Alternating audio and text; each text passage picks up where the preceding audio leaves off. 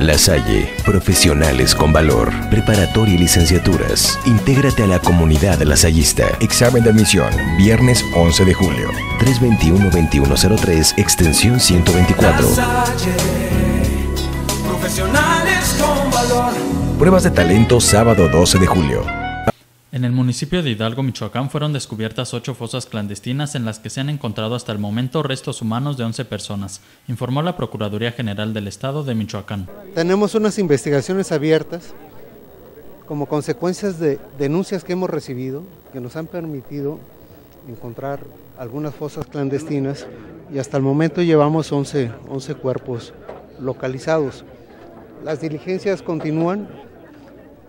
Esto ha generado algunas detenciones, el aseguramiento de, de elementos de la policía, Derivado de investigaciones iniciadas por la dependencia tras la recepción de varias denuncias, se localizaron las ocho fosas en una localidad conocida como La Venta, ubicada entre Hidalgo y Zitácuaro. Durante las últimas horas del miércoles y las primeras de este jueves se realizaron las excavaciones en este predio donde fueron rescatados los cuerpos de las 11 personas. Las investigaciones realizadas por el hallazgo de los restos humanos determinaron la detención hasta el momento de 26 policías municipales de Zitácuaro e Hidalgo por su presunta participación. La Procuraduría de Justicia del Estado inició las actuaciones para determinar la identidad identidad de los cuerpos, así como causas y tiempo de su muerte. Se espera que en las próximas horas los uniformados detenidos arriben a las instalaciones de la PGJE donde se determinará su situación jurídica. Con información de Sandra Sáenz Informa, Quasar TV.